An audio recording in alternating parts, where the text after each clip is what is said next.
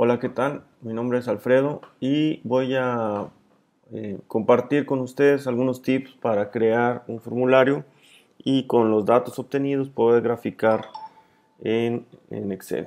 ¿ok? Vamos a comenzar eh, eh, creando un formulario y para crearlo en el navegador hay que escribir este, forms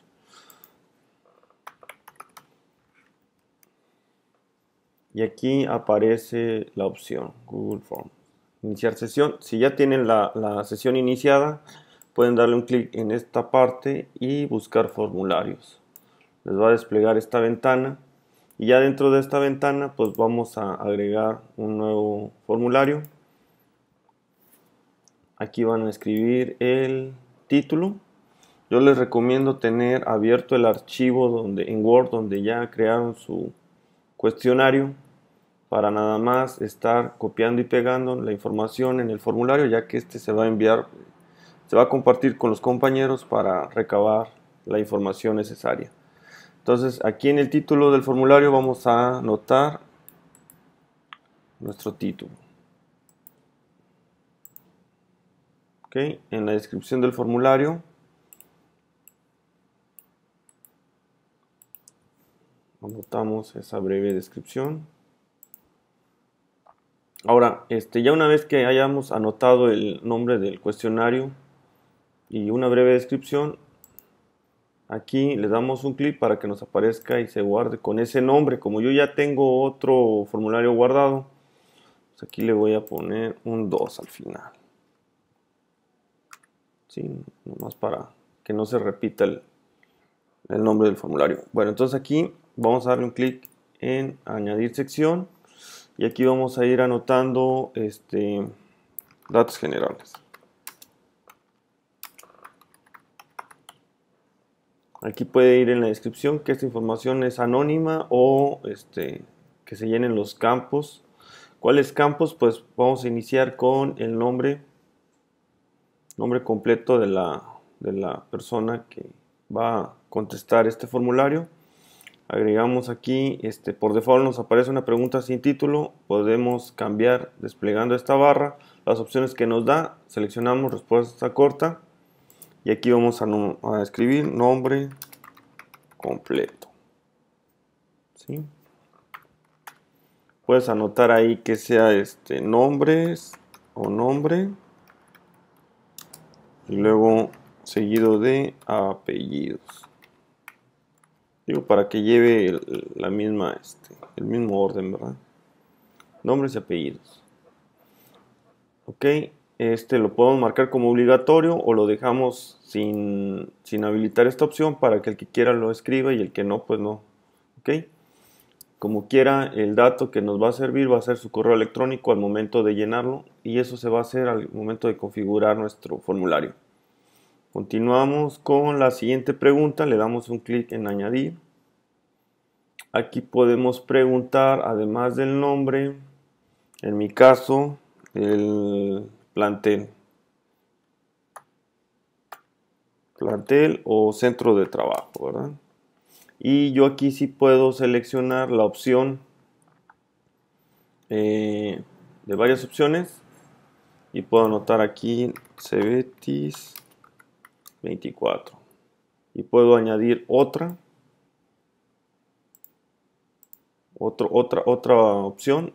Al momento de que ellos este, seleccionen van a poder escribir eh, si son del plantel pues seleccionan. Y si no otra y les dan la opción de escribir esa otra otro plantel verdad esta sí la podemos marcar como obligatoria. ¿Sí? o la podemos dejar abierta no pasa nada la, que me interesa a mí es este, si ha impartido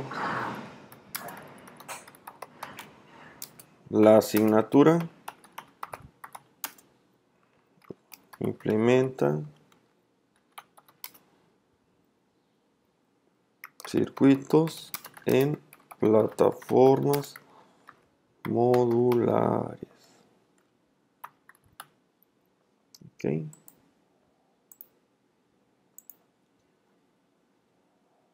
Esta sí me interesa y la voy a colocar aquí en obligatorio. y le vamos a la opción sí o no, porque es parte de lo que estoy investigando, ¿verdad? Ok, y después de estas preguntas que son este, generales, información general, vamos a iniciar ahora sí con las preguntas de nuestro formulario. Eh, aquí en, la sección sin título vamos a colocar eh, la indicación de lo que vamos a lo que van a realizar. En nuestro caso vamos a escribir marque la respuesta más adecuada, solo seleccione una opción y no deje preguntas sin responder. Entonces yo aquí le voy a agregar cada una de las preguntas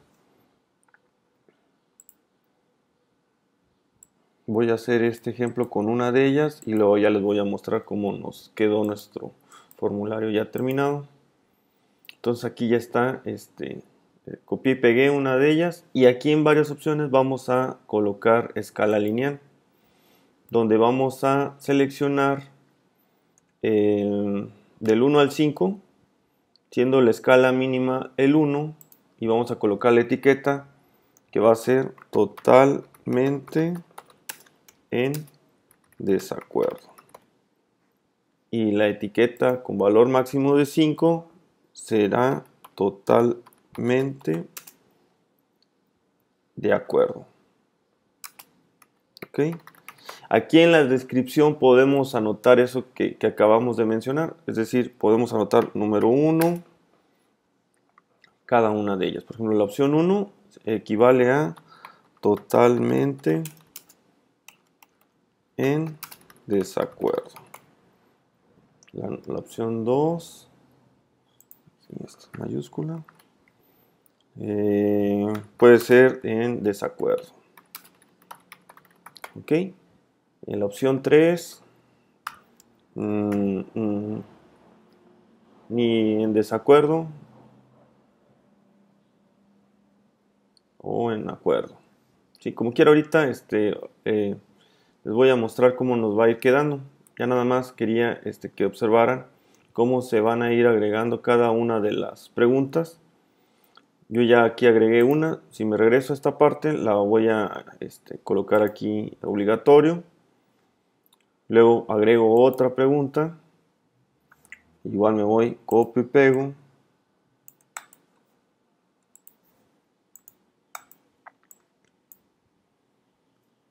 Opción 1.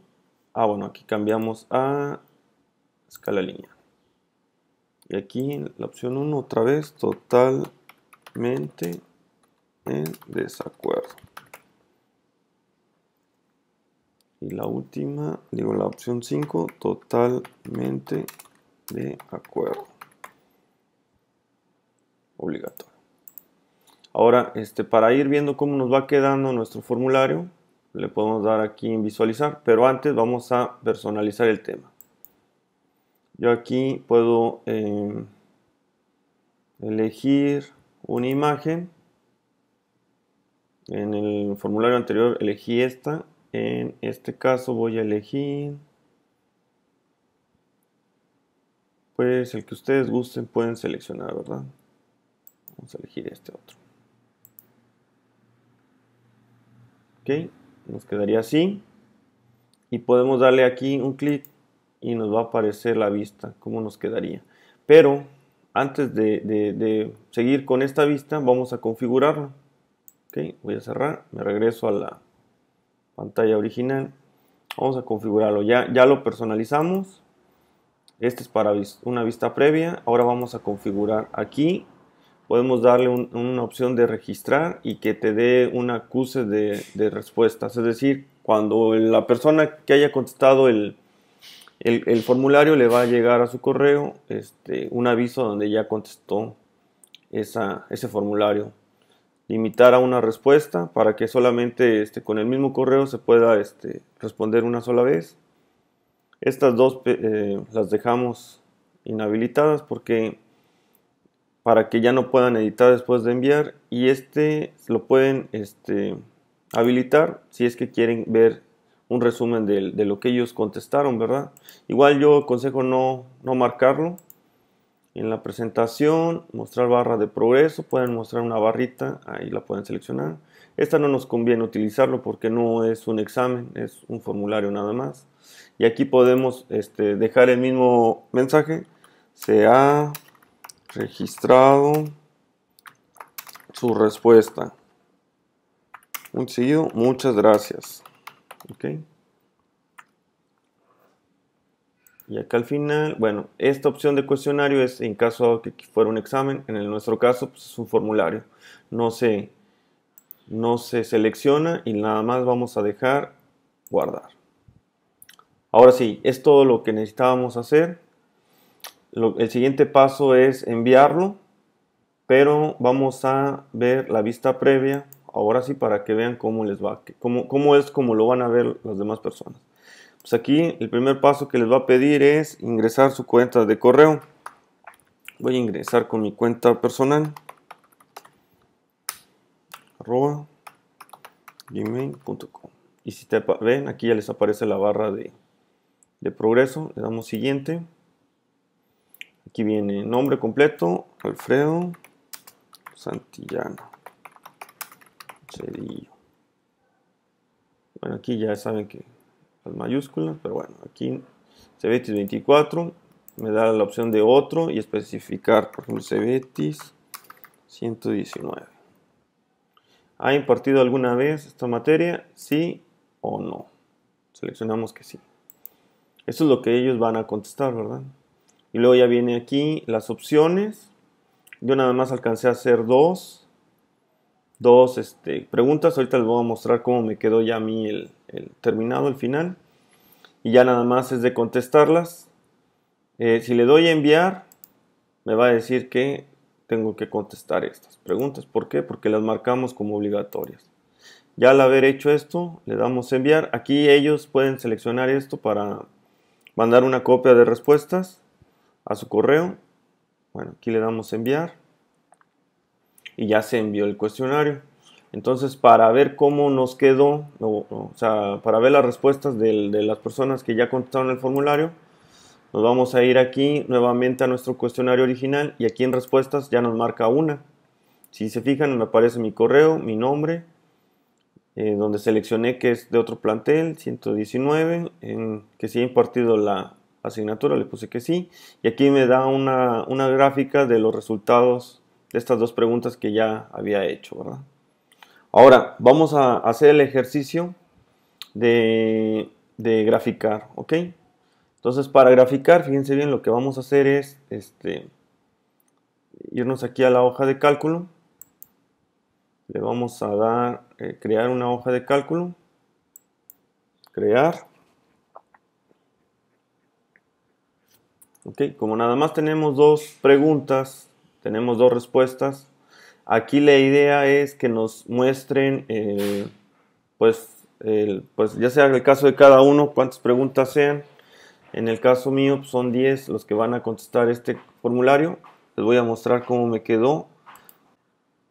Bueno, muy bien. Aquí este, lo que voy a hacer ahora es mostrarles el cuestionario que ya envié el día de ayer. Este cuestionario, pues yo anoté eh, la siguiente información. ¿sí? el correo, los datos generales, nombres, apellido paterno, materno, nombre del centro de trabajo, que si ha impartido esta materia. Después en la siguiente sección, pues ya está este, terminado. Anoté mis 10 preguntas. Aquí en la descripción vienen las 5 opciones de la escala de Likert. Totalmente en desacuerdo, en desacuerdo, ni de acuerdo, ni en desacuerdo, de acuerdo y totalmente de acuerdo. Y ya, si se fijan, ya aquí ya utilicé la escala lineal como les había mostrado en el formulario anterior y ya tengo capturado las 10 este, preguntas. Ahora quiero que observen las respuestas. Aquí aparecen los compañeros, sus cuentas de correo quienes ya contestaron.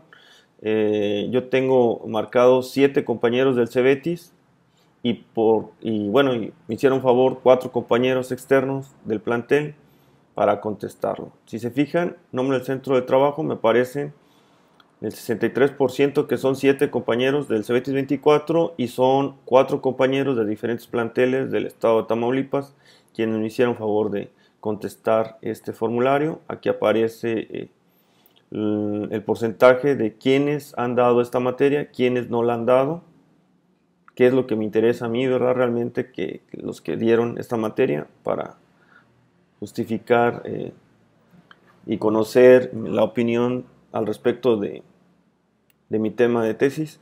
Y bueno, pues aquí están las gráficas de cómo se fueron contestando cada una de las preguntas del formulario. Ahora les voy a mostrar el archivo en Excel para hacer una de las gráficas. Aquí está el archivo en Excel, aquí aparece la fecha, aparece el nombre completo, nombre del plantel, ¿sí? Y aquí están en los encabezados cada una de las preguntas que hice. ¿Ok? Aquí se volvió a recabar la información del correo y quienes contestaron, quienes habían impartido la, la asignatura y quienes no, ¿verdad?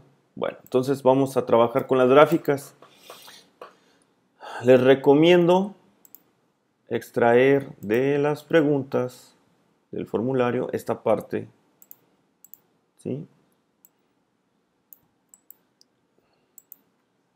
Que son las opciones que tenemos para trabajar. Ok, eh, vamos a trabajar con este archivo, pero lo vamos a hacer desde Excel. Entonces lo, lo, que vamos a hacer es irnos a archivo, porque estamos usando el archivo generado del formulario desde Google.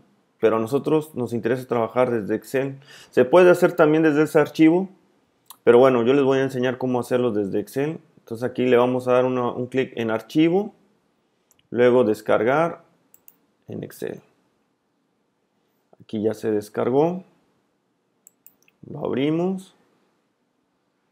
Esperamos a que se abra. Y ya una vez abierto nos lo vamos a traer a esta parte para que ustedes puedan ver cómo vamos a trabajar con esos datos. Podemos cerrar este formulario. Este, pues aquí lo dejamos. Este es, el archivo en Excel. Aquí vamos a trabajar la gráfica.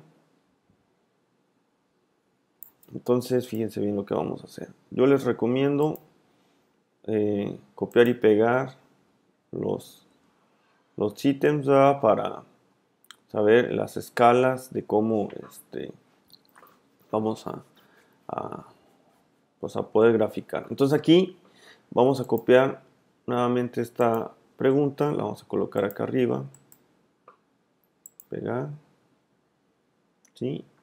Y lo que vamos a hacer es acomodar, ordenar de menor a mayor. Aquí viene la opción, ordenar de menor a mayor. Continuar, selección actual, ordenar. ¿Sí? Lo que hice fue seleccionar las respuestas que nos dieron y ordenarlas. ¿sí? Eh, esta forma en la que yo les explico no significa que es la única. Hay, estoy casi seguro que hay más formas de hacerlo más sencillo. Pero bueno, en mi caso, este, pues yo lo estoy explicando de esta forma. Entonces lo que voy a hacer es contar. Tengo dos, eh, dos eh, respuestas con la opción 4. Entonces nos vamos aquí donde está el encabezado 4. Tenemos con las 5 pues el resto voy a aprovechar, no fueron 10 los que contestaron, fueron 11, vamos a marcar entonces 9, ¿sí? 9 contestaron eh, la opción totalmente de acuerdo y pues aquí fueron ceros. O sea, no hubo quienes contestaron totalmente desacuerdo, en desacuerdo, ni de acuerdo, ni en desacuerdo. Entonces, esto que está aquí es lo que vamos a graficar. Seleccionamos nos vamos aquí en insertar, gráfica en 2D de pastel y automáticamente nos va a dar la gráfica. Eh, esta gráfica, si nos vamos acá en la vista del diseño, podemos cambiarla. Miren, yo recomiendo utilizar esta otra opción donde aparece ya en porcentajes ¿sí? Esta, esta imagen es la que nos va a servir. Entonces aquí nomás lo que vamos a hacer es copiarla, abrir un archivo en Word y la vamos a pegar. Y es todo. Bueno, entonces de mi parte es todo. Muchas gracias. Hasta luego.